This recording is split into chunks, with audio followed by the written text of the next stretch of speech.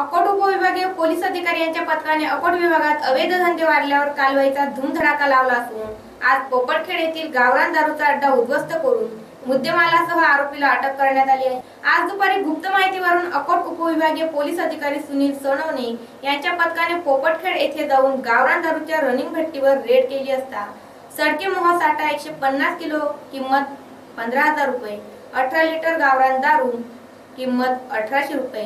दारू पाडण्याच्या नळ्या दोन नग किंमत शंभर रुपये.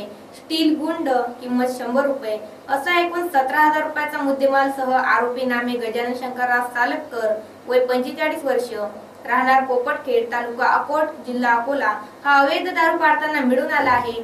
सदर आरोपी याच्या विरुद्ध पोलीस स्टेशन अकोट ग्रामीण येथे गुन्हा नोंद करण्यात येत आहे. सदर कारवाई सुनील सोनवणे यांच्या मार्गदर्शनाखाली राजू खरपे नाका पोलीस कॉन्स्टेबल राजेश्वर सोनवणे सुभाष वाघ अनिल लापूरकर यांनी केली.